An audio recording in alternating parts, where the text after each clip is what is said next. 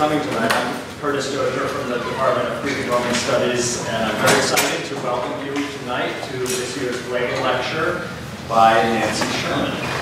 I, uh, I first want to thank my colleagues in Greek and Roman Studies and uh, President Bradley for their support of this uh, event, as well as the Departments of Philosophy, Political Science, Psychological Sciences, and International Studies for uh, co-sponsoring the event tonight. When, when I came to Vassar 11 years ago, uh, the department was in the process of redesigning our curriculum to put connections between the ancient and contemporary world at the center of what we do. And, and we, we did this partly as a way of making the argument for the continuing relevance of the ancient world to contemporary concerns, but it was also an attempt to find new arguments for why we should study Greco-Roman we used to just say that this was worthwhile because we'd say things like, these are great and admirable civilizations. Uh, these civilizations are the foundation of ours. And, and actually a lot of uh, classics departments still rely on those kinds of arguments, even though they ring increasingly false. These supposedly great civilizations relied on, for the most part, did not question slave labor. They restricted the civil and political rights of women, in some cases as severely as the most oppressive, uh, oppressive regimes of the contemporary world. And they used violence to impose their political will on others. And although you can make an argument that the Greco-Roman antiquity contributed to many things we hold dear, like democratic institutions, rational inquiry, the development of literary ancient civilization has also been foundational for oppressive politics, nationalism, and white supremacy right down into the present age. So clearly a more critical approach to the study of antiquity is needed, one that simultaneously insists on the value of the study of the classical past, but one that is also willing to question the authority that we sort of so often grant to that past. So it's a real pleasure to introduce to you tonight Nancy Sherman, whose work on ancient ethics, ancient stoicism, and the experiences of contemporary soldiers and veterans serves as an outstanding example of the power of bringing together critical readings of ancient texts and the contemporary world.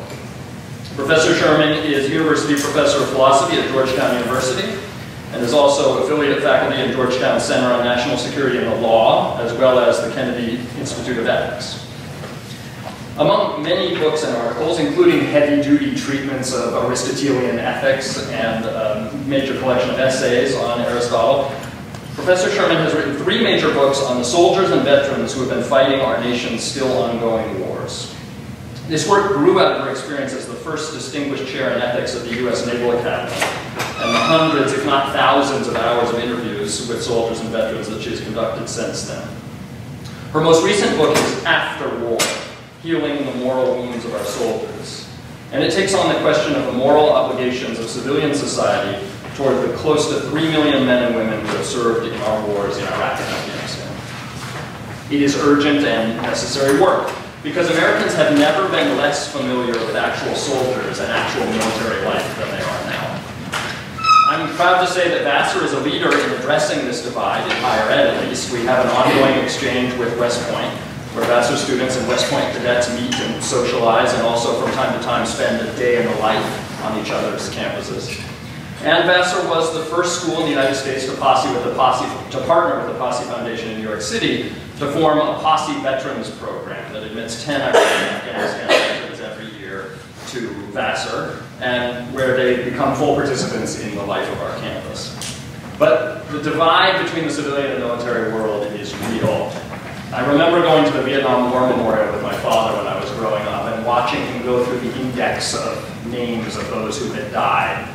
These are all people he had known in high school, name after name after name. People in his generation, almost all of them knew many people who served in Vietnam. Whereas I, before I started advising the veterans program here on campus, I had only known one soldier in my entire life. Professor Sherman's work, above all, seeks to understanding, seeks to build understanding between those who have served and those who haven't. So the contemporary relevance of Professor Sherman's work is beyond question. It's been recognized and praised in many places that I bet you know. The New York Times, The Atlantic, The Washington Post, This American Life. But what makes Professor Sherman such a no-brainer for us to invite into Department of Greek and Roman Studies is her approach to antiquity. Her first book on veterans was called Stoic Warriors, and in it she did exactly what we try to train our students to do. She took a critical look at the ways that ancient Stoic thought had been adopted by the US military and its soldiers. Her conclusion was that aspects of ancient Stoicism that she observed being talked about, basically a kind of stiff upper lip or suck it up mentality, could be found in ancient thought, but were to a large degree harmful in the contemporary world to those who adopted them. And so what Professor Sherman has done uh, is then recognize that suck it up doesn't work in the contemporary world, but that it also helps us recognize that ancient thinkers themselves, although they sometimes argued for suck it up, actually recognize the inadequacy of that approach. And so she uses the contemporary world to re reveal a side of ancient Stoic thought that might otherwise have lain hidden, an approach to the good life that allows us to recognize our lives as a journey, that allows empathy and especially self-empathy and that insists on the need for each of us not to become stoic, invincible sages, but to recognize our dependence on others and their dependence on us. Please welcome Nancy Sherman.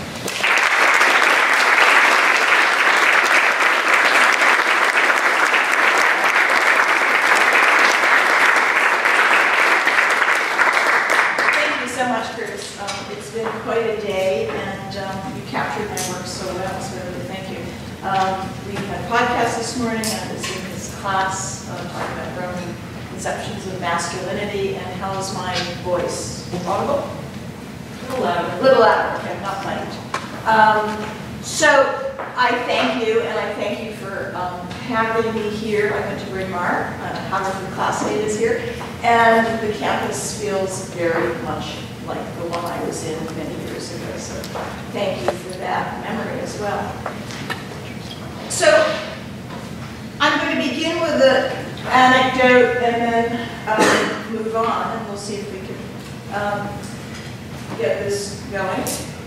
I'm going to begin with an anecdote from uh, C.J. Chivers, New York Times war correspondent, Pulitzer Prize winner, and the writer of a very good book, I think, called The Fighters, mostly with, with um, Marines, uh, but service members that he deployed with.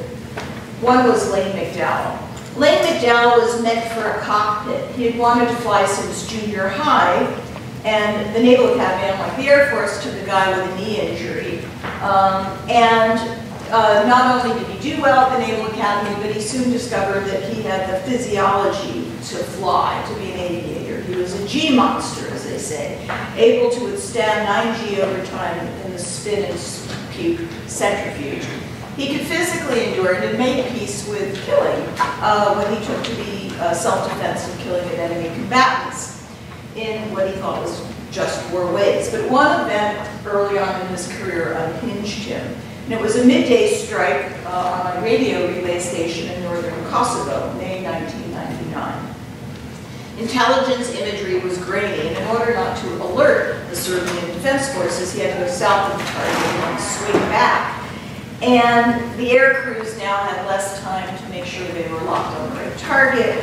Um, and then Serbian air defense also opened up. But still, he felt pretty good about the target. I felt good about the rooms. And then, then, then it got a bit cloudy, the imagery got a bit grainy, and he had 15 seconds to think. Um, I didn't say anything, but we took out what I took were exactly what we were targeting with 2 GBU guided bomb unit 12. So mega bombs. Then dread started to mount. McDowell looked at the strike footage once found on the carrier, and he saw that what he struck was a carportal, and he saw unmistakably four bikes, two of which were child-sized. Now, there was never any legal proceedings. I've had many conversations with Chris Chivers. Um, they were never able to get full Pentagon release information on this. But the moral burden was carried by this naval aviator. McDowell. And it, the after incident debriefing came in a repetitive dream. And it played just before he deployed in Iraq 2005. And in the dream, he was back at the bombing site, and he went into the house, and the house was covered with dust and dangling wires, and unmistakably in the corner was a small child. He lifted the boy to his chest, tightly cupping his head in his hand, but the front of his face was obliterated. And in the dream, the boy was his son, his son, in fact, Glenn. So I tell this salient case of moral injury because it's, it's not one of collateral killing or non-combatants. This was accidental killing. And unlike some collateral killings that are justified as necessary militarily, because you have a high target, uh, uh, um, uh, an important target, um, or excused as part of eliminative killing and militarily necessary. Accidents like these, they abound in war, are never justified as necessary or eliminative killings. They're not proportional to the end you're trying to achieve. The act is transgressive of someone who's not liable to be killed, meaning this child. And even if the individual's acts, the uh, perpetrator's acts, can be legally or morally excusable, as perhaps in the above case, you could say bad intelligence came from high up, or fog of war kinds of facts, so diffuse lines of responsibility and fog of war kinds of issues, still innocents have been wronged. And the moral burden is carried by this aviator in a repetitive dream, an intrusive dream in flashbacks, and in growing lukewarm over 13 years in flights that he used to enjoy making. He wishes for some atonement and some compensation to the victims, but it hasn't gone through. So what's puzzling about this salient case of moral injury is that the transgression that causes so much distress doesn't run afoul of the moral and legal codes of war. The agent can't exculpate himself, though the doctrine of war can. Now, we could say, as many colleagues do, well, this is just the grandiosity of moral agency at work, especially war fighters, and especially you know a little bit about the environment at West Point or the Naval Academy or the Air Force Academy. Um, war fighters, especially officers, raised on perfection and zero tolerance for screwing up whether keeping a rifle clean or hitting a target with expensive precision munitions. Many hold themselves to use a military, uh, a law term strictly liable, uh, even when they ought not. But I think that shunting all or most military injury to psychological overreach misses the greater moral landscape. Even if moral sensitivities don't accurately track what's permissible and impermissible, so some individuals may be moral wantons, though they incur war crimes and atrocities. Think of Lieutenant Calley, Captain Dino in the My Massacre. Um, others overly self-blaming in the face of flukish and tragic moral luck. They often do point to some phenomenon that's morally relevant, but often missed by modern moral criteria, oh, and including just war theory that looks just at what an action is, if it's just or not just. So I think that point is fundamentally Aristotelian. It's an ancient point uh, that virtue is a matter of apt actions, and emotions. Moral injury, as I'll argue, and its related emotions, experienced um, and often expressed in speech or comportment, are deeply connected to virtue and aspirations to it. And granted, some injuries may be just so debilitating as to corrode moral character your character. Um, others um, may not undo character, but come from an undone character and eliciting moral injury, feeling shame is the beginning of redemption, possibly. But still others may be less severe and overall signs of healthy moral character and may be adaptive. And if a soldier didn't feel those emotions of laying down, didn't feel the remorse over likely killing children, we wonder about his humanity. So this brings me to my topic today. I think there is a tension in the military world and in popular culture in general between a growing recognition of moral injury, and it doesn't have to be, have to be in the military world, it can be in all sorts of places where uh, there are grievous inter interpersonal interactions that take place and, and there's suffering. A growing recognition of moral injury, but now military moral injury, as often a healthy expression of the moral conscience of a service member, and a very strong attraction, as uh, Curtis was saying, to stoic notions of virtue that seem to require weaning oneself from the disquiet of emotions constitutive of moral injury, like guilt or shame or remorse or resentment of public, um, and so on. So the question, put bluntly, is, is moral injury compatible with a stoic view of resilience? And is it an emotion-lean view of, of resilience that the Stoics really offer? Or again, to take a critical look at the Stoics, are there more nuanced Stoic accounts of virtue and emotion that we can draw from? And in saying this, my concern is not just academic or textual. Um, it has to, I've been involved with educating military, both in returning veterans who come to Georgetown for undergraduate degrees, graduate degrees, PhDs, security studies, but also the academies. And it has to do with education and what we take from that reading. And if Roman Stoics, such as Epictetus Aurelius, or Seneca and redactors such as Cicero are sources of inspiration for training military virtue and resilience. Are we reading all the right lessons when we read those texts? What do we miss that could be extremely helpful uh, in recognizing and healing, more to the point, moral injury?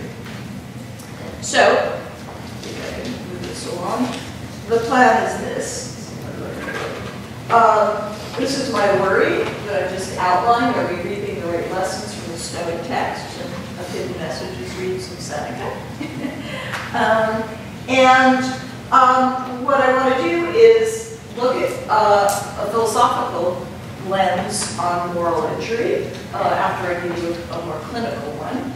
Uh, talk a little bit about the Stoics on emotions and how they would represent morally joyous emotions.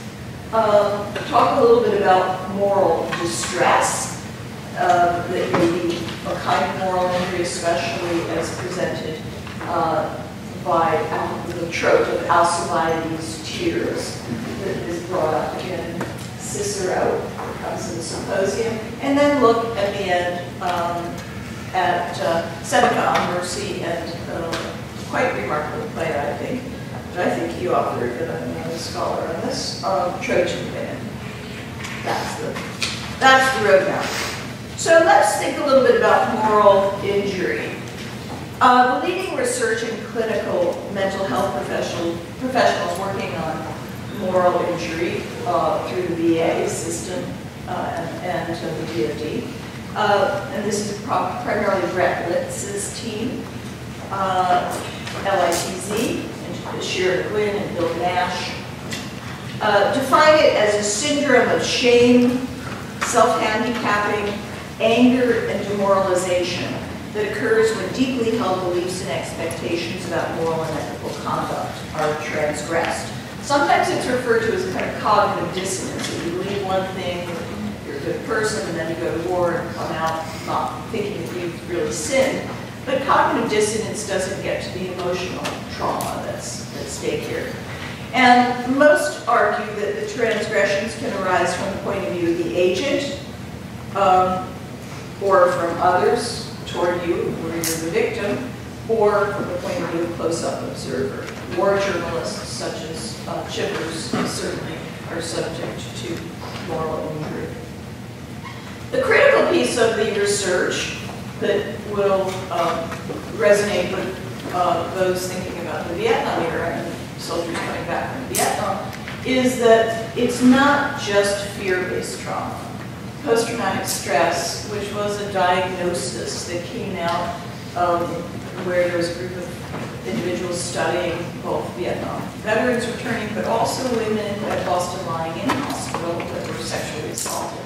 Um, they were suffering similar symptoms had to uh, came out uh, in uh, symptoms of hypervigilance, withdrawal and dissociation, and um, intrusive, uh, intrusive memories, intrusive thoughts.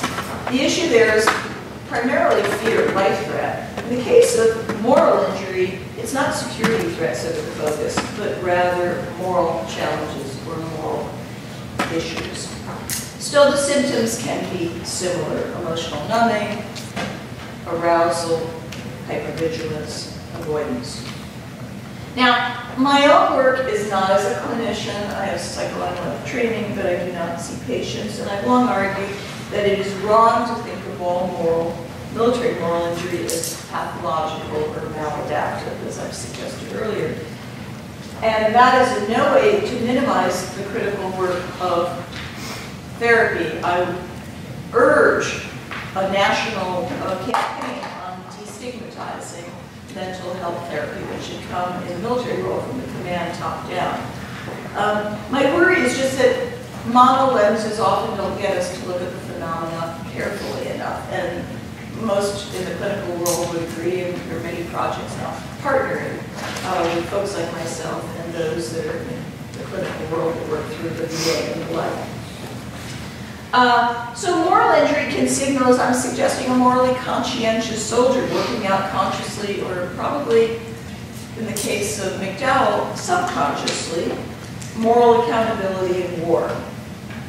Uh, and the even unprocessed moral disquiet can be an important first step in an individual reaffirming, reaffirming personal accountability and in strengthening sensitivity. So think of uh, a fighter feeling pangs of guilt in the wake of a very permissive collateral killing of a high-value target, say in the case of Zarqawi, the strike of Zarqawi, where it's likely it was known in advance there were family members with him. Or the shame I hear a lot about, in high-stake political dealing with a shady but allied warlord in Afghanistan. Or, another case I write about, um, a sense of command betrayal tinged with shame and being the bearer of very paltry constellation solace money for civilian families in the crosshairs of a, of a, of a, of a return strike. Assume the emotions in these cases are morally warranted. Guilt in an undeserved collateral killing, Zarqawi's children, shame in accepting the terms of how you have to do business in this war with shady warlords, moral disappointment and distrust in your commander for giving you paltry, zit, zil, uh, zilch money, 700 bucks, in case one of the guys I talked to, uh, for repayment for a family that lost three family members. So the emotions look back, but they also look forward to um, missions that might have gone differently, or to um, moral accountability, even if it's collective and not just uh, solo. So when I think about moral injury, I often use the lens of the philosopher P.F. Strawson.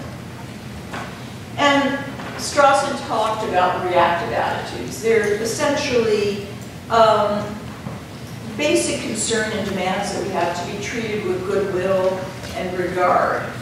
And they're parts, part and parcel, constitutive of the responsibility practices, practices that show up in our praising and blaming of ourselves, of others, on behalf of others. And uh, as I and to lead with moral accountability in some ways is to get away from pathologizing all moral injury. I think the DSM Diagnostic and Statistics Manual is critical, especially for medical boards. You serve, you get injured, you get compensation. Um, and these are complicated matters that go that take long times to get resolved. But it's also important for the general public to depathologize and for soldiers themselves to understand certain uh, aspects of moral accountability that aren't just part of a medical syndrome. So that's uh, how I entered this. So I introduced earlier a, a tension within current military culture, accepting some level of moral disquiet as a healthy response to the conflicts posed by war, and an embrace of the stoic, idealized model of uh, sort of uh, stripped down emotions, uh, freedom from emotional distress, stoic calm, or tranquility. And so these are broad trends. I'm not suggesting one individual holds both of them in some inconsistent ways. I'm just suggesting that just as we're beginning to accept moral injury as a very pervasive phenomenon in the military world with all spectral degrees of it, there's also this wild uptick in interest in Stoicism within the military, but also in the tech world. Uh, the tech world follows the quotable Stoics regularly. They could go to work in Silicon Valley togas, they might. Um, so can we bring these two uh, conflicts together? So I'm going to suggest we can, and I'm going to begin with uh, Seneca. But first, let me just give you a sense of the face of moral injury. This is a man who only got $750, Jeff Hall, for consolation money, where a family of three bodies were rotting. He couldn't even bury them. When he finally got to bury them, uh, marked in bold red letters was enemy combatant, though they were a Christian family caught in crosshairs on a Sunday afternoon. And it, he said, it's not PTS that's undoing me, it's the moral injury. In this case, Bachman Command just could not wrap their head around supporting him, but also the Ministry of Health, the Iraqi Ministry of Health, uh, was not helping either and partnering this week. This is a mask he made of Walter Reed. This is a horse he drew, mired in mud. I was told actually just two weeks ago in Annapolis by um, uh, a chaplain who works at Walter Reed that she saw the sequel to this where the horse wasn't mired in mud. So that was very moving. I didn't see it.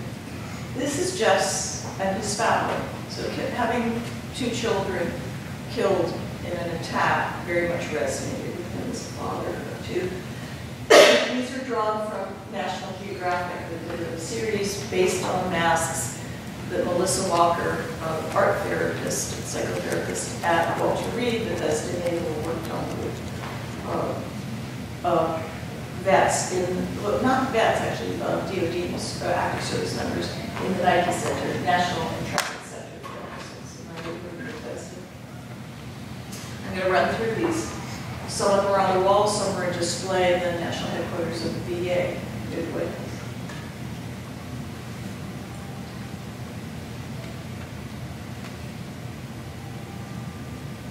TBI is traumatic brain injury, um, which has a kind of a percussive disorder, but can have some of the symptoms also of PTS and moral injury.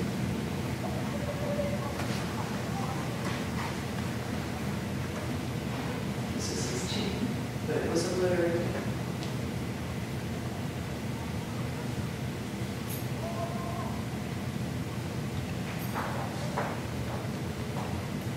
This is uh, art modality that works in conjunction with sometimes dance modalities and also uh, talk therapy and medicine, yoga, meditation, all sorts of things.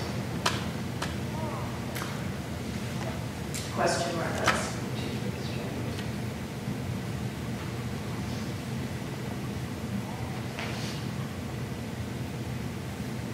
So here he comes to Seneca. So Seneca the Younger, so 3 BCE to 65 D, the one most of us know, is an important source, I think, for he's a pragmatic philosopher, though he's not caught in the fog of war, he is caught in the muddy currents of politics. He swims in those currents um, as Nero's tutor, political advisor, speechwriter, and so on. And now just a few historical details here um, should suffice. He comes to the court through the interventions of young Nero's mother, Agrippina, who sought him out as a tutor with the most famed reputation in the empire for the rhetoric and public, for rhetoric and public speaking. She became his patron, uh, bringing him out of Corsica, where he was for about eight years, um, and getting Nero closer to the throne through the powerful pen of Seneca was part of her motive. So Seneca's motives then became keeping the boy in power. I think he takes the throne at 16. Uh, even though it soon involved keeping the mother out of favor, as she fell out of favor with her son. So there's no shortage of intrigue in this palace where Seneca lurks in the background, or maybe the foreground. Um, there's the poisoning of Claudius's biological son, Britannicus, when he became of age to take the throne a plot which Seneca, as palace insider, probably was aware. And though Agrippina was his benefactor in getting him into the palace, Nero showed, excuse me, uh, Seneca showed him limited gratitude um, uh, uh, when he defended Nero's murder for a speech which records suggested to go down well with all. So what comes around goes around in this short biography, and Nero's anger may have been restrained on occasion, but by no means ever managed. And Seneca must have been well aware of this um, and the threat against his own life, given a attempts to retire from public life uh, in his later years, and his general preoccupation in those years in writing about more serene matters and issues of tragedies of power and mortality. And then Seneca, of course, was uh, forced to commit suicide um, after being accused of the Pisonian plots. And this is Rubens, and he doesn't seem very calm. It looks like a lot of muscles are twitching, etc., as he, as he tries over and over to commit suicide. So why do I offer this mini bio? It's because when Seneca writes about clemency or anger or constancy or rails against the evils of materialism and luxury, he writes as no moral or political naive.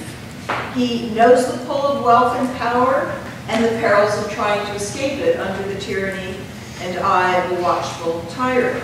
He takes up his pen and well-trained Stoic stance, in part to calm his own fears and to aspire to something purer. As he often uh, uh, says he's the doctor as well as the patient. Um, and um, you know, he could have stayed clear of Nero, as maybe others did, uh, Epictetus, etc. But um, and he could have opted for his own suicide rather than being forced to it. So in short, he's a pragmatist, a, a puzzling pragmatist who's been in the political trenches, suffered its glory and infamy, and yearns for some personal moral change. And Stoicism appeals in this case. And that's at least one way, but one way to read moral essays, letters, and tragedies.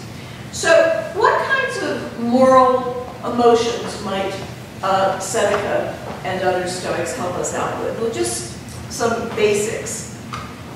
The first is that emotions on the Stoic view are kinds of chosen actions. They are volitional. You was sent to an impression of some injury happening, some good or evil out there. And they're volitional types of actions, but they're irrational in two ways. The first way they're irrational is once started, hard to stop, especially anger. You're like a runner in stride, and you can't stop your stride. You just sort of um, you go beyond the human reason, you might say.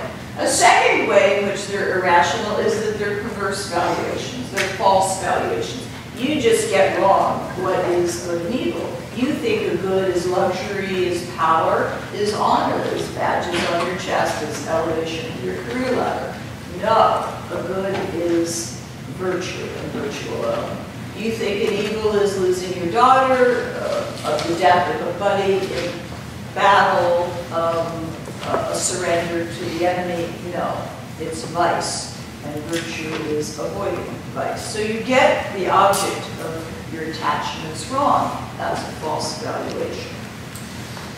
However, we would be blind and emotionally unintelligent or unintelligent if we didn't have some uh, guidance from emotion. So they allow in two different classes of emotions. One are often called proto-emotions, proto-ki, arousal starts and startles. And Seneca is particularly good in on anger in letting us know about those. And he has a military model in mind at points. In time of peace, a military man in civilian clothes pricks up his ears at the sound of a trumpet. He still sort of feels the tingle, even though he might not really um, be aroused by a full-blown ordinary emotion. These are involuntary starts and startles, and it doesn't impugn your virtue in any way to suffer them. They're not false valuations. They catch you off guard.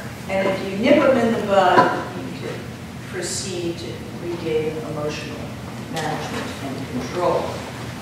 There's another way um, that um, the most perfect example of virtue, a sage, person of practical wisdom, might not be fully emotion-free. Um, not only having these start and startles, but having healthy emotions or eupathetic emotions, good emotions. And these are ones where they are directed at virtue and the avoidance of vice. So the desire is not for the objects of appetite, but for virtue. Joy is in virtue, and fear is not for losing external goods or being threatened by their loss, uh, but rather losing virtue for its uh, caution or an awareness of moral compromise and the like.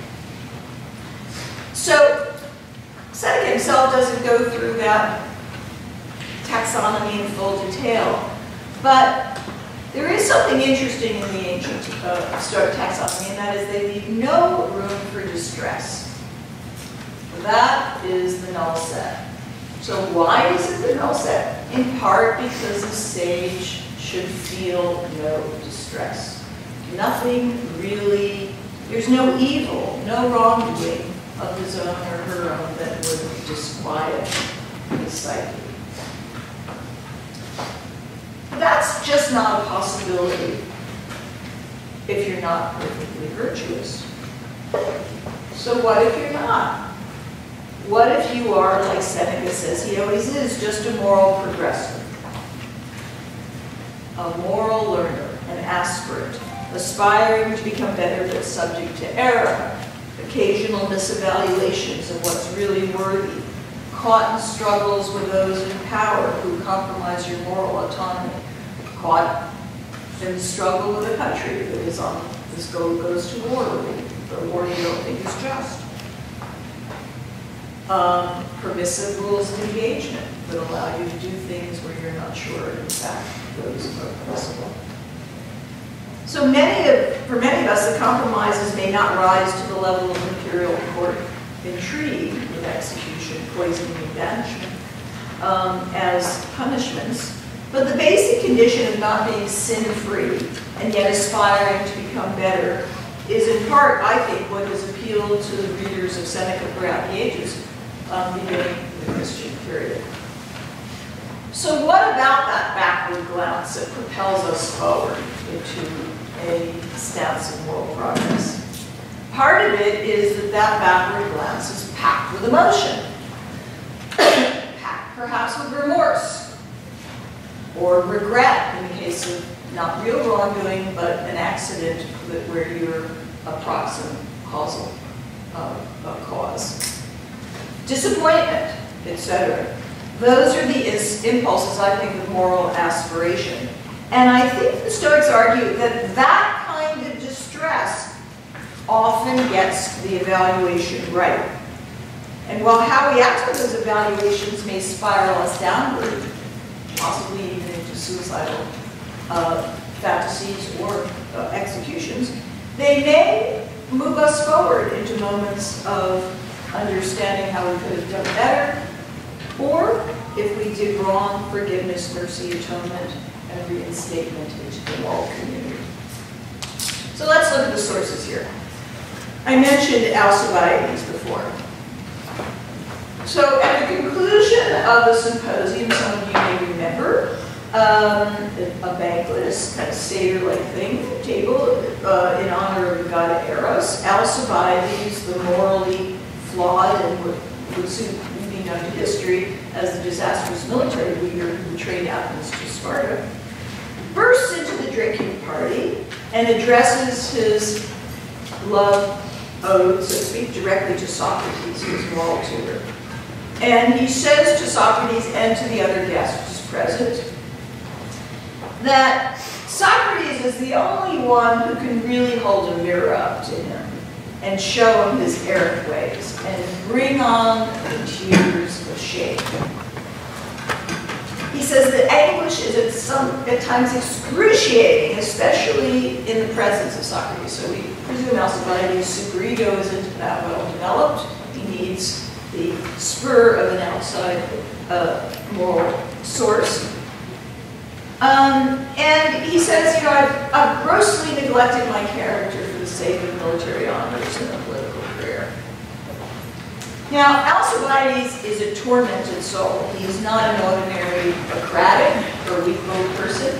He's rather someone who knows clearly what he should do, but doesn't do it. And he may occasionally step into the waters of virtue, but not often enough. So he's not sure he really knows how to live a life of virtue, but he's willing to try it and taste it, especially in the presence of Socrates. Alcibiades gives us a sense of just how non-scalar for some, and the Stoics, the external goods are and virtue. They're different worlds. The world of honor and luxury is really gives you a different kind of good than the world of virtue. And Alcibiades may not really know how to get into that other world. But it still gives you a sense of what might propel you forward. And the tears of Alcibiades become a, kind of a, a challenge for Stoic thought as to how to incorporate moral distress as a part of moral improvement. So Cicero, as I mentioned, not himself a Stoic, but a redactor, often attracted to its ways, especially in the Tusculan Disputations, says that Cleanthes, that's the second um, of the Greek patriarchs in Stoic school, doesn't take seriously enough the problem. He says, it seems to me that Cleanthes doesn't take sufficiently into account the possibility that a person might be distressed over the very thing which Cleanthes himself counts as the worst of evils. For We're told that Socrates once persuaded Alcibiades he was unworthy to be called human. He was no better than a manual laborer despite his noble birth. Alcibiades got very upset, begging Socrates with tears to take away this shameful character and give him a virtuous one. You see how easy Alcibiades thinks the transformation is. Um, Cleanthes, surely you would not claim that the circumstances which occasioned Alcibiades' distress weren't really a bad thing. Again, he says, suppose a person's upset about his own lack of virtue, say his lack of courage or responsibility or integrity. The cause of his anxiety, isn't that itself an evil? So Cicero is challenging the Stoics. Don't you think there are moments of moral distress where you catch what you did that was wrong and now stand in the position through that conscientious look backwards to go forwards? And I think Seneca himself recognizes this, and Cicero is certainly pointing out that he ought. So one thought here is that the Stoics should view distress or moral injury as a possible moment of moral aspiration, of moral healing, of moral moving forward. In the case of real moral shortcomings or transgressions, the disquiet may be a first stage, an impulse or motive toward moral growth and repair. Maybe it has to be elicited externally. Some atrocities, I presume, are not easily going to feel remorse. It may take years and years, and they may fight it all the way, the legal proceedings on their side. In the case of only apparent transgressions, say anguish that one is morally and not just causally responsible for non-negligent accidental harms to civilians or battle buddies, there may be a, a, a, shame that has to be let go and not felt as hard as it's being felt. So, are there ways in which we can insert Seneca's voice in here, for example, to think about moral aspiration through moral distress? So I think Seneca finds plenty of room for this in his writings. And the, this, I think, comes up especially in On Mercy. In writing it, Seneca says he holds up a mirror for Nero to better see himself, but also clearly for Seneca to see himself too. And The essay's dark twin, I think, is uh, the Trojan women. I want to close with that, it will bring us back to where we started. But first, just a little bit on the essay. So mercy in the essay is, is cast as the humane virtue in a world of human frailty. So it's already saying the sage isn't our only model. We need to think of non-ideal moral virtue as well. And Seneca says it's not, mercy isn't pardon or the remission of a deserved punishment, but leniency in exacting a punishment. And he says it's a staying of the hand, a restraint, a calming of vengeful anger. We've all sinned, some in serious, some in trivial things, some from deliberate intention, some by chance impulse, or because we were led astray by the wickedness of others. Some of us have not stood strongly enough by good resolutions. So even if we become perfectly virtuous, we would have arrived there by some moral erring along the way. There's no sinless path of moral progress, is the idea. So he says it's the gentler side of Stoicism. Um, now, how does it show up? I think it shows up in the Trojan women in a rather interesting way.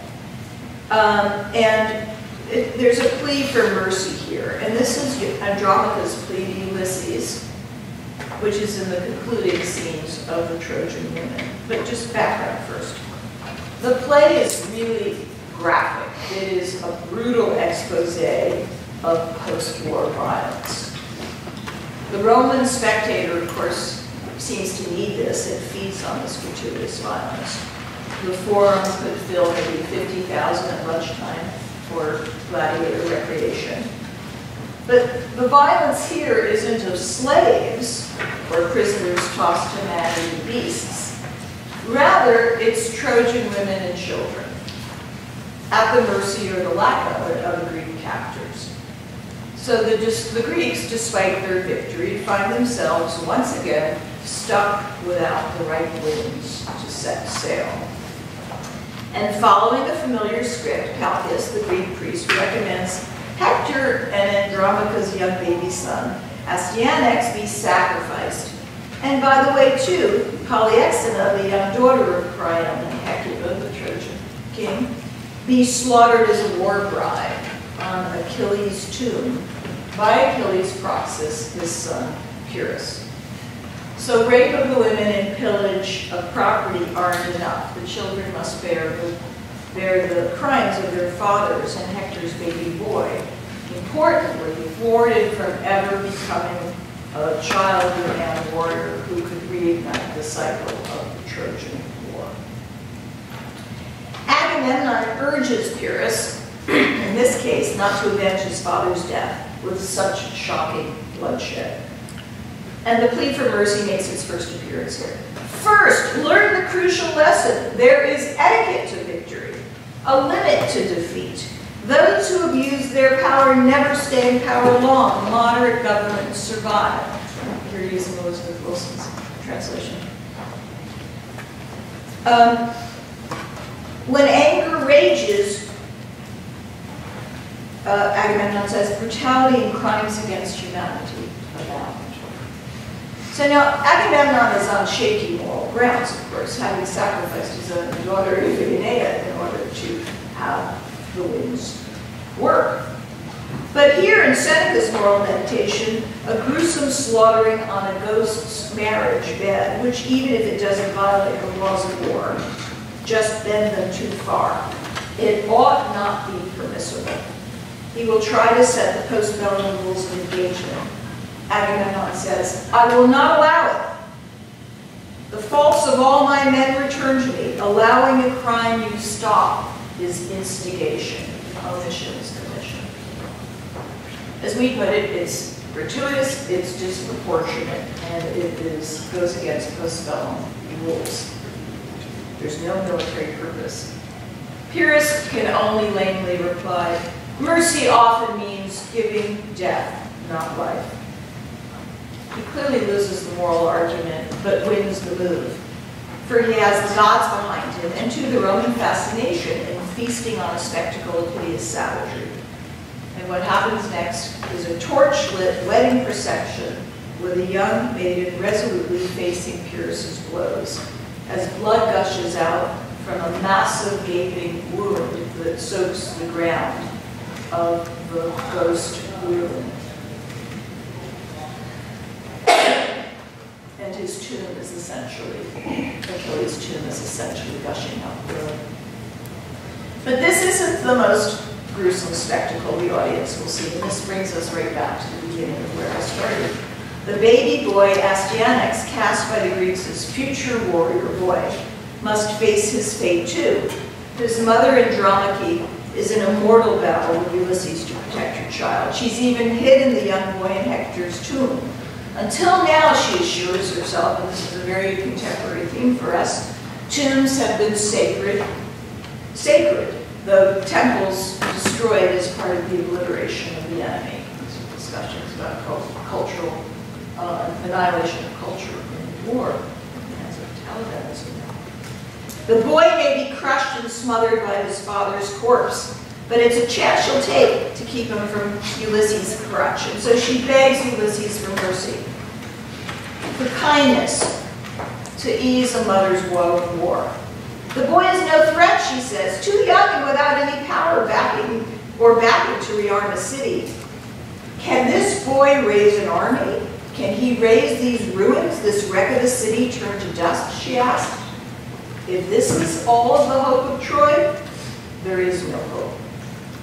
So the absence of hope here is predictive, but also normative about both the future and about one, what one may reasonably aspire on behalf of this child.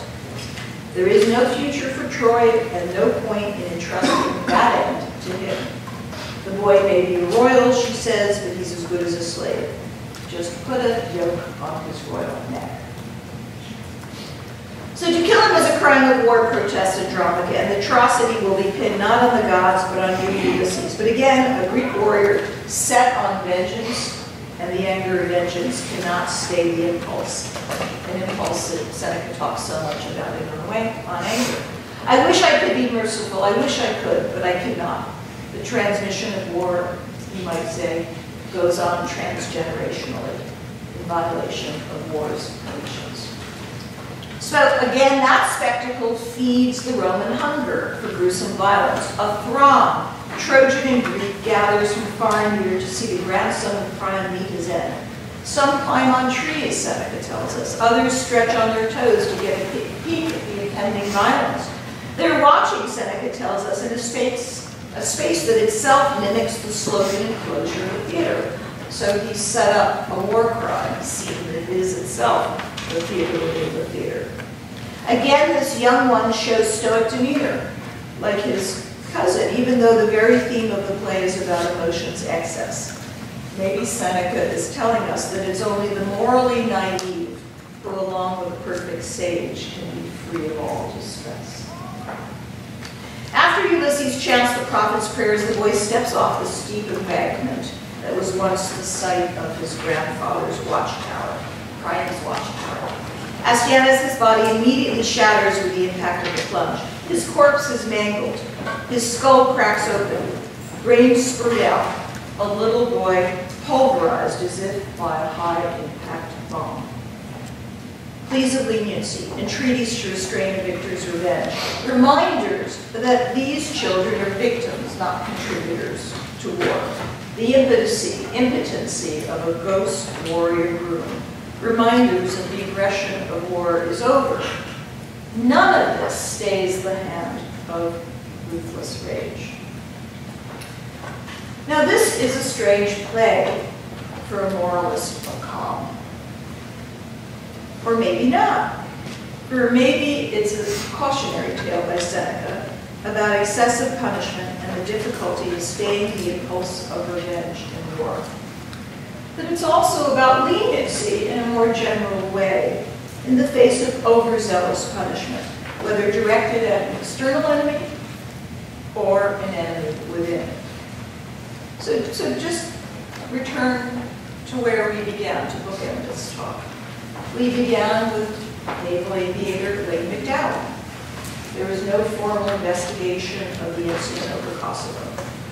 It's not clear if there was a violation of Fu- Fuller procedures that were they to have been followed, the accident would have been averted.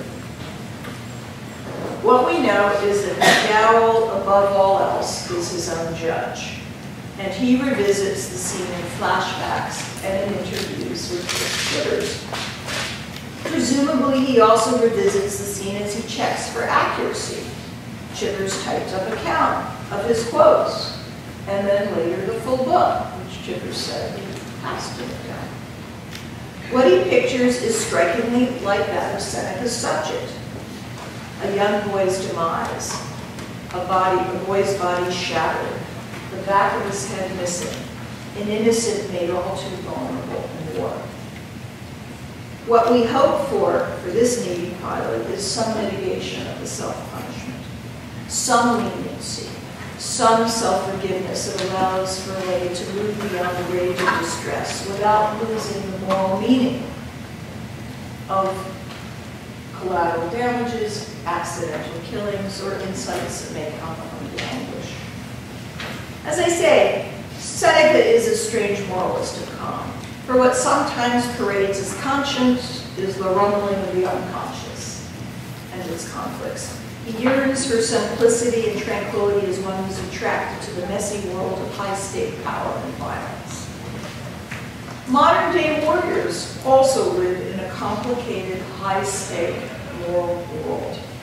They yearn desperately for autonomy and self-discipline, but they're willing to be in institutions that can vastly limit that control. They're exposed to situations that constantly test their best judgment capacity for steady restraint. Exposure to moral injury is no surprise in that environment. But the Senecan lesson I'm urging is that that very injury may be at times part of moral growth and the beginning of the calm of moral repair. To read Stoicism as forswearing the possibility of good moral distress is just to miss Seneca's more profound teachings about moral growth and resilience. Thank you very much.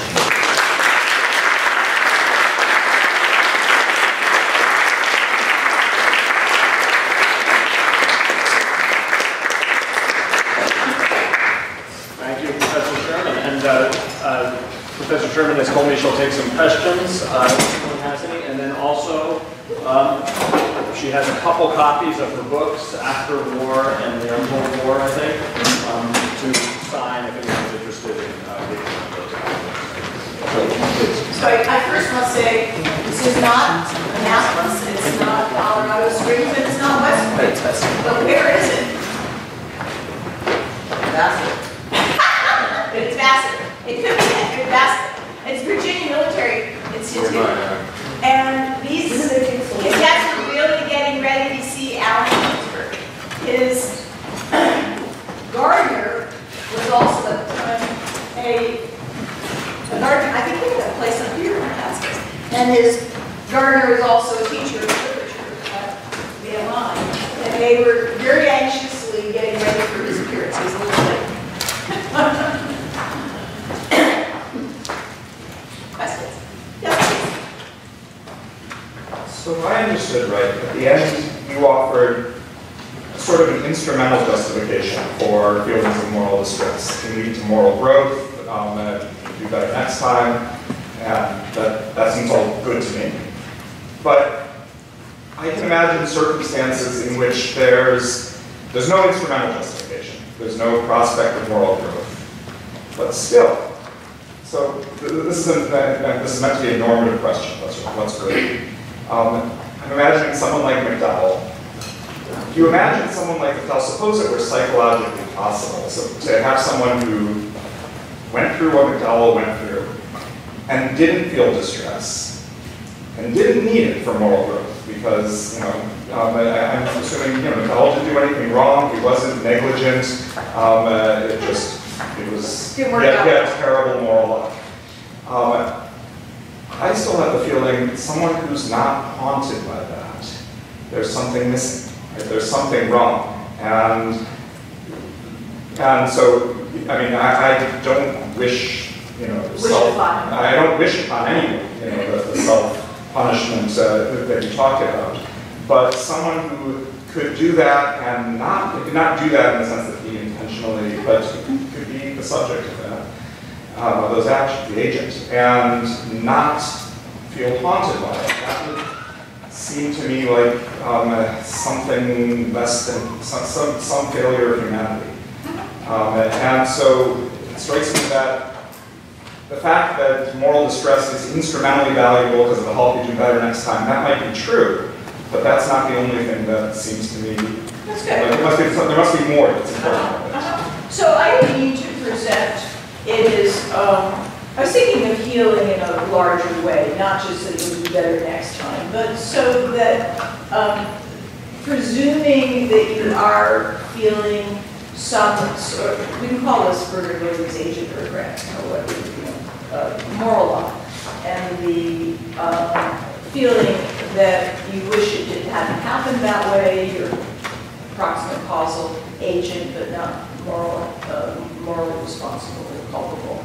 And the, if you didn't feel that kind of connection with the loss that came about through even, even if accidentally, there would be a way in which you, you fail to be connected humanly or humanity-wise with suffering, even if there's no fault Okay, so, you know, fault doesn't always capture it well, but connectivity, I take it that's what Bernard Williams does, Wolf, et cetera, all those kinds of um, feelings. So it's, the Stoics are, I'm moving, you know, I was trying to move this in the Stoic fashion. The Stoics aren't particularly interested in kumbaya or in the connectivity and what are some, you know, what, what Kant might be interested, really, what, what counts as signs of humanity and being a member of a kingdom of ends or something like that. That kind of social reintegration is not really what the Stoics are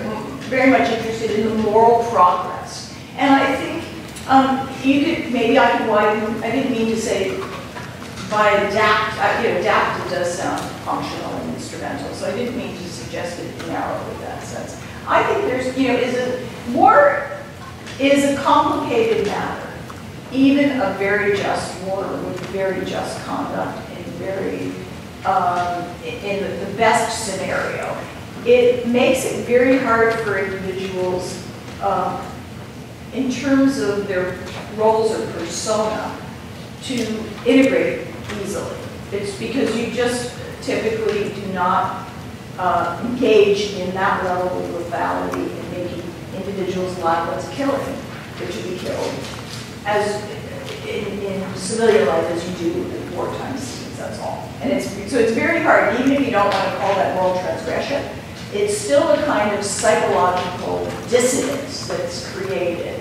And being able, I- in some cases, you know, connecting the the sadness, the grief, the remorse of, of, of, of the loss of a child is, is a, I, I agree with you, is a humanizing thing. So I didn't mean to, short answer, didn't mean to make it only instrumental for, for, for future repair. I think of moral progress is more of an enrichment of the way in which you can stand fully human um, after coming out of the war or experiences like that.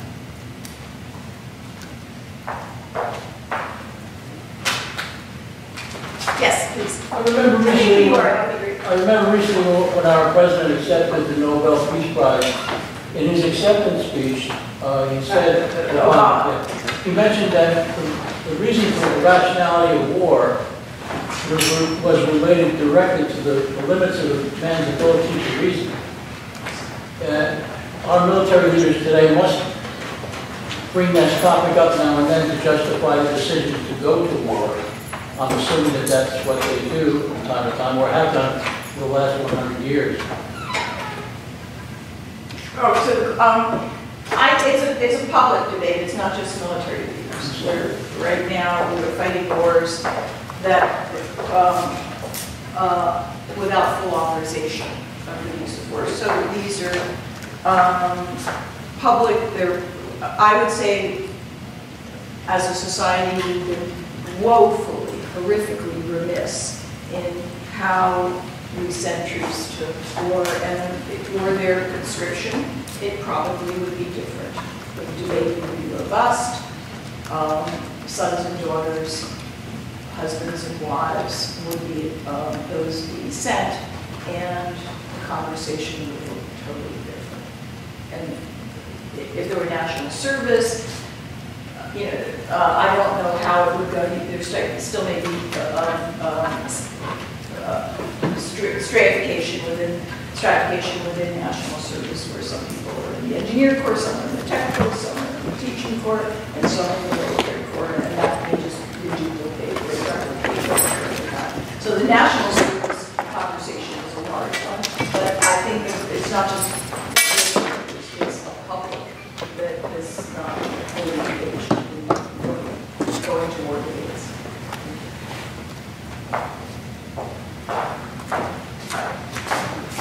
Yes? Hi. Um, I have a question, but first of all, um, asking about patriotism. Yeah. How is the Stoic sort of disposition either, is it intentional patriotism or can they go together? Help me, who's patriotism? Um, well, I'm kind of wondering about, um, I guess, our military and its Stoic, um, like the fostering of a kind of stoicism in the soldiers and that's compatibility with kind of going to war for a, for country. Yeah. I maybe Yeah. I don't know how, it's an intriguing question. Um, I'll I'll be sociologic for a moment, and that is that a lot of, the military reproduces itself very well. I don't remember the statistics, 50, 60% of the military come from military families. So it's um, a, and, and those values get transmitted. Um, That said, I have, I teach at military academies often, you know, there's a lot of questioning of what goes on. The teachers there question, it. we're in a very, I think, the military is far more sanguine about um, opening debate about these wars than others are. They know what it's like, they know how, they know what redeployments are like, they, you know, they know what it's like to be dealing with horrible warlords, poppy fields, that, you know, and corrupt um, opium money that we can't change, and bad partnering with the State Department. So they're not unpatriotic.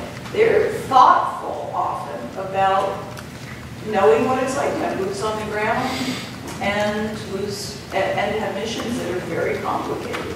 Um, So I- I'd say um, And and they're also very open these days to having civilian conversations. They often have mixed faculty, civilian and and military.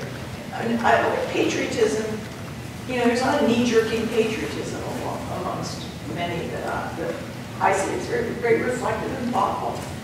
Yeah, I mean, I didn't mean I just was, because it seems like patriotism would require that you not be neutral, that you're not sort of, um, emotional, or rather, you Oh, go all.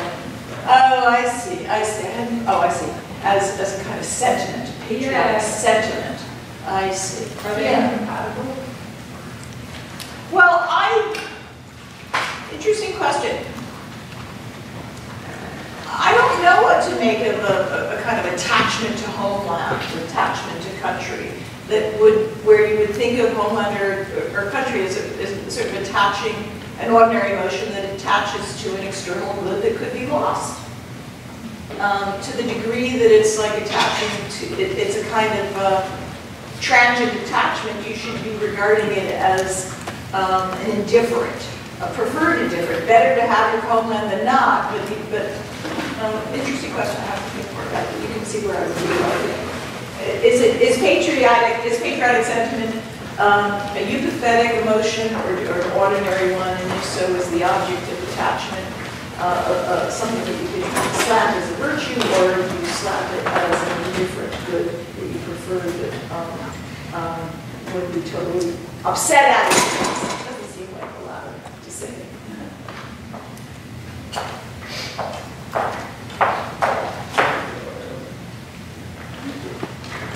Sorry.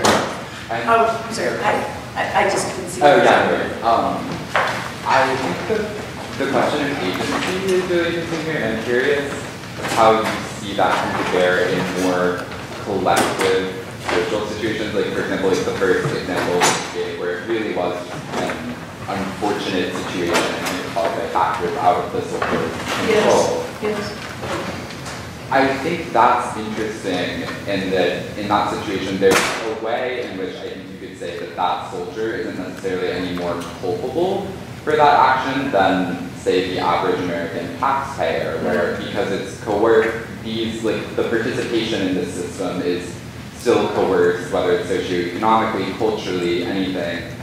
But there's really kind of there's a way that you can say that there's no real difference. But in that case, I I think you could argue that there's kind of a lack of the appropriate moral response on the part of the public. And That's a, it's a great question. And, yeah. yeah, that's a great question, and I think you're spot on. Um, Seth Lazar, someone who works on just war theory, um, and he, there's a very uh, robust argument that can be made for um, um, different levels of contribution. We, yes, we are contributors, and we're contributors um, as part of collective agency. So you're right about that, and we have, just as there's corporate responsibility, there's social responsibility for the ways in which we are contributors. But if we're all combatants, then are we all liable to killing? It, as- as- assuming we're, assume we're, now I'm going direction of Jeff McMahan, for some philosophers know his work. Assume we're unjust combatants, because the war that we're fighting is unjust, or feudal, or something like that. So Just assume that. Um, Well, that means we're all, and we pay taxes, and we haven't selectively withheld our tax for that purpose. Not that it's clearly how you do that. Um, sh- Shouldn't we all then, if we're all combatants, and we all are equal contributors, well, the issue is equal, we're all contributors on some continuum, aren't I liable to killing by the enemy as my husband who's a computer scientist who may occasionally work for the Defense Department but not knowingly, or the guy in the, you know, at the post store who's um, making the uniforms, you know, go on down the line of all the ways in which we contribute to war. One way is to say if you're not, if you're not contributing to the war effort per se, but just to humanity of the person, putting food on the table for someone, then you're not a war contributor. But if you're paying taxes that somehow are substantively be designated, or omission, you fail to protest, yeah, that's how that argument goes, and, we're in total war, and there's no combatants, we're all in it. It's a pro, it's a, dip- it's, it makes you take very seriously your responsibility for a nation going to war, and that's what you've raised, and I think it's a really, really important question. But I just will say also, issues of, of, of agency, collective agency is a hard nut to crack. I, you know, I've thought a lot about that, and I don't, I'm not a, um, philosopher of action who works in that area specifically, but it's hard, and there are people who do good work in that area. That's pretty touching. Well, thank you again for the